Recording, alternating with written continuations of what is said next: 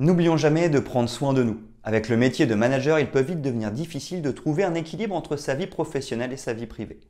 Nous devrons donc rapidement apprendre à dire non pour nous éviter d'en faire trop. En effet, nous pouvons être happés par les différents projets qui nous entourent. Nous devrons donc aussi savoir prendre des temps de récupération pour retrouver notre énergie.